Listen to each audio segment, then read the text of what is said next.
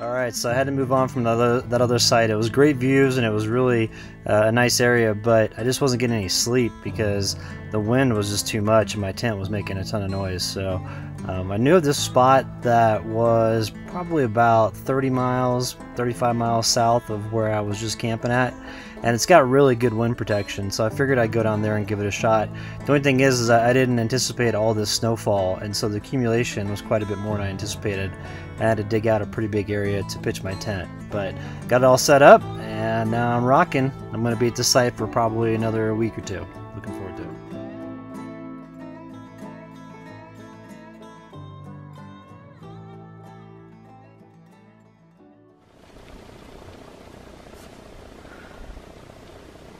Role than reason and logic and objectivity and kindness.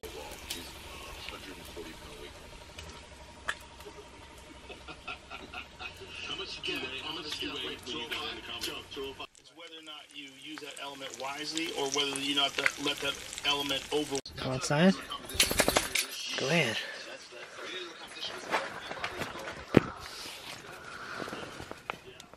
You wanna go walk? Let's go on a walk. Go ahead.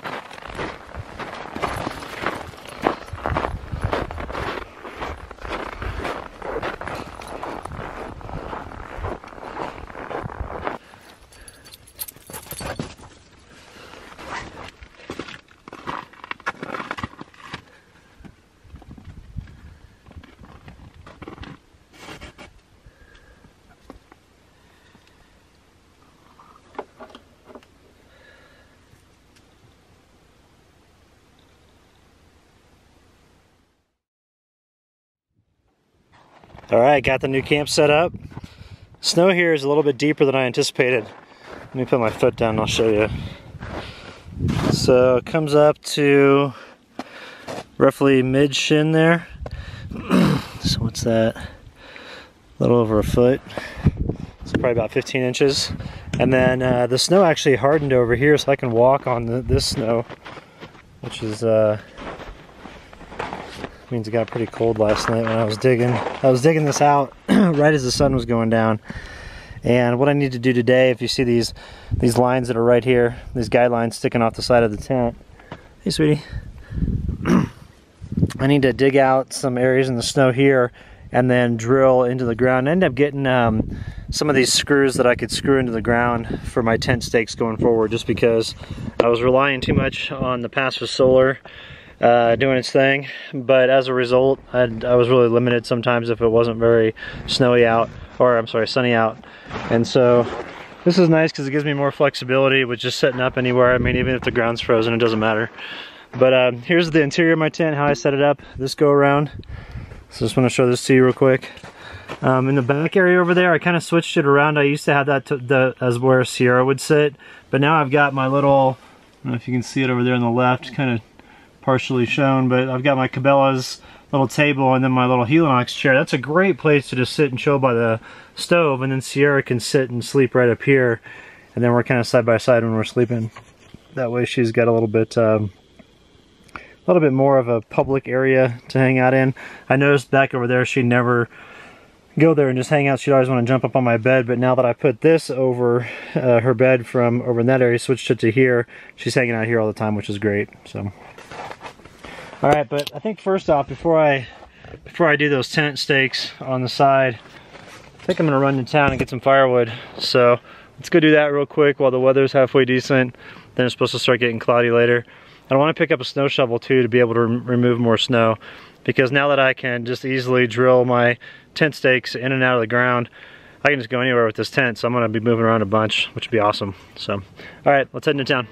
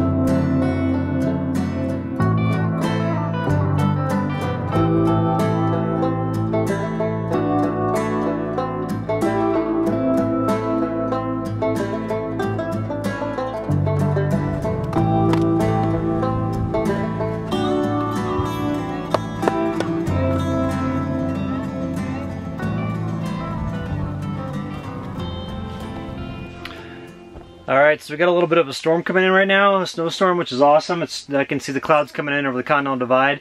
So what I want to do is I want to clean out my stove really quick because last night I went through a ton of wood. It was pretty cold out. And so there's a lot of coal, uh, coals and ash. You can see it right there. Let me zoom in. I'll show it to you real quick. There's lots of ash that's in there. And this ash will insulate the bottom of the stove uh, to where when I'm when I'm you know if I've got a good flame going on here, it's pretty warm in there. There's still some coals hot. When I've got a good flame in here, if there's a lot of ash on the bottom, you won't feel any heat coming off the bottom here. And you don't want that. You, you want to have it to where your stove is always going. Um, now a lot of the a lot of the stoves that houses have. Let me zoom back out here. Um, a lot of the stoves that houses have, they have an insulated bottom on the stove, and so you won't ever feel the the heat on the bottom of a stove that's in a house if it's like made for a for an actual house. But for tent stoves, you want to have the heat coming in from all angles. You want to have it from the bottom, the sides, the top, the back, everything. So that's why you always want to keep your stove clean. So um, what I'll do is if there's still hot coals in here that I could use to get a fire going, then I'll carry this. I carry it's this little gardening tool.